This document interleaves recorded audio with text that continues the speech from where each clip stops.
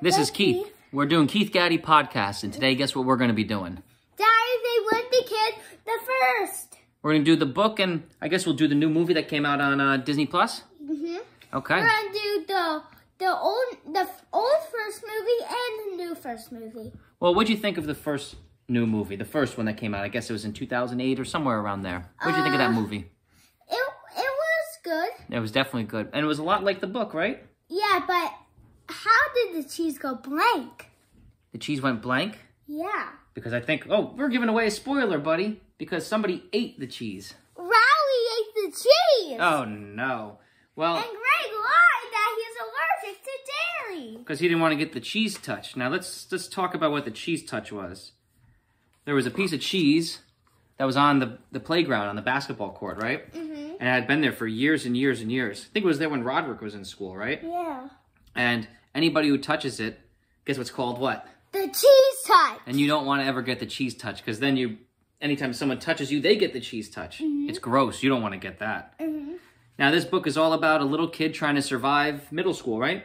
Mm-hmm. Seventh grade, I think it was. No, it was sixth grade. Well, maybe it was sixth grade. He might know better than me, even though I read the book to him.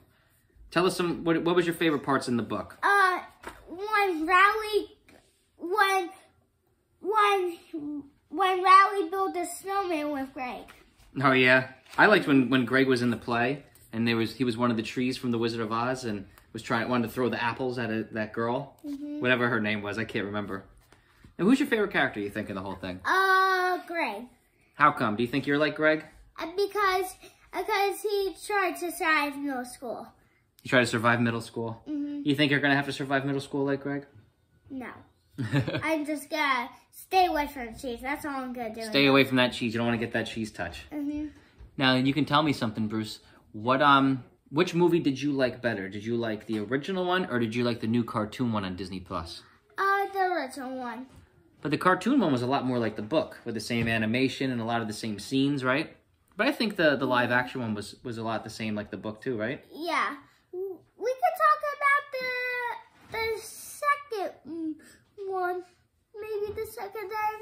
We're not going on the second one. We're still on the first one. You're jumping way ahead, buddy. We didn't even get through all the good parts, like when they went out on Halloween and didn't um didn't his friend Rowley not dress up in a cool costume? Yeah. What did he dress up as? I totally forget in this book. A night. Oh, he dressed up as a knight. But how come he didn't like the knight? Greg didn't like the knight? Because he wanted him to be something cooler. Yeah, because Greg was obsessed about too obsessed about being cool. Uh, And then at one point, didn't Rowley and him not become friends anymore? hmm What happened with that? He he was with a different person But how come they stopped being friends? because Didn't he let him? He got let him get in trouble or something, right? hmm and then and then and then they met and then we, they got friends again and then he ate the cheese.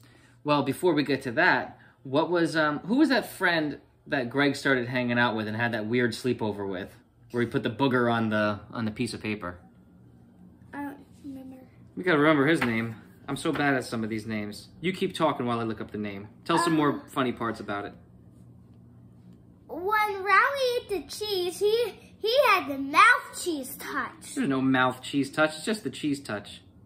Man, I cannot find his friend's name in here. Maybe. Oh, here it is. Oh God, this is the kid with Fregley, Fregley, Fregley. Fregley had a sleepover with him and it gives him a booger on a piece of paper. And that's when Greg passed out, and Greg said, "I'm not going to be friends with this kid anymore," and had his father come and pick him up. Remember that? Yeah. That was funny. Oh, and then didn't they also write that cartoon? Yeah. Oh, Zoo-Wee Mama. That was the whole cartoon that they wrote. And then Greg decided to not um, publish the cartoon in the school paper, and Rowley got all the credit for it. And Greg got really mad about it. And Greg also accidentally broke Rowley's arm, didn't he? Yeah. On on a bicycle. That's right. What did he do? Throw a snowball at him? No, kickball or something, right? He he threw a football at him. Oh, it was the football. Knocked him right off of that and broke his arm. Yeah. And then Greg broke his hand. And then, well, no, he pretended to get that infection on his hand and nobody cared because Yeah. they thought that was gross. And then at the end, those big bullies came and Rowley and and Greg were about to get into a stupid little fight that they didn't want to get into, and the bullies came and made one of them.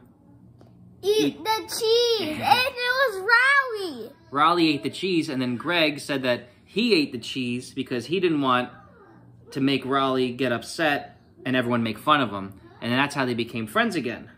Yeah, Now, let me ask you a question. On a scale of one to ten, yeah. what would you rate the book? Ten. You'd make it a 10. Wow. I thought it was good. I'd give it a 9. It's a fun book. I think it's great for kids. And now, okay, the original movie, the, the live action movie, what would you give that on a scale of 1 to 10? Uh, a five. A 5? That means you didn't like it. I like, I liked it a little bit. You liked it a little bit. That's why it's a five. I would give it a 8 because I think it was a good movie and I think it was a lot like the book. Now, what do you give the animated one on Disney Plus? Uh, twenty. A 20? I thought you said you liked the original one better than the animated one. I like them both. You're a goon. Okay, well, I think I'd give the animated one a little bit um, higher of a rating. I may give it like a nine and a half because I thought it was a lot like the book and I thought it was great. And now let's move on to Rodrick Rules. Well, Rodrick Rules is the second one. I actually haven't I haven't seen the movie and I haven't read the book, but I think we can do another podcast on that. But But you, we have to do a, we could do a little bit of Rodrick Rules and a little bit of Long Haul. a little sneak preview of Rodrick Rules, right? Yeah, a little sneak preview of Long Haul. That's a little sneak preview. What um, what would you like to say about Rodrick Rules? Give me Rodrick Rules in 15 seconds. Uh, Roger had a party and locked Greg in the basement of Rowley. Oh, that's right, he did. Mm-hmm. And then what happened? Did he get caught? Yes.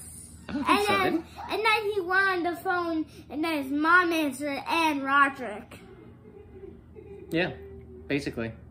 I thought, uh, I actually, no, that's right. I did see some of Rodrick Rules. I thought that was a pretty good movie, but I think uh, I'd like to read the book first, and then we can compare it to the movie. Because I think these Diary of a Wimpy Kid books and movies are actually pretty good. Now, um, for the people who are going to watch this, do you have any other things that you should tell, any books you want people to read, or any movies you want them to see? Anything that comes to your mind that you really liked? Um, the deep end one that is on the back of Rodrick Rules after Wrecking Ball. Well, anything other than Diary of a Wimpy Kid? Were there any other books that you liked that maybe me and you read? Uh, like, we read Ocarina of Time, and you should read that because that's the best book. That's a good one. Yeah, it's the Ocarina of Time manga. It's um, I forget who who's written by, but it's uh, it's black and white, and you have to read it backward, right? Yeah. Yeah, that is a good book. Um, I would recommend that too, and I'd also recommend as my suggestion Ocarina of Time Part Two, where Link's the adult. Yeah. That's a good one.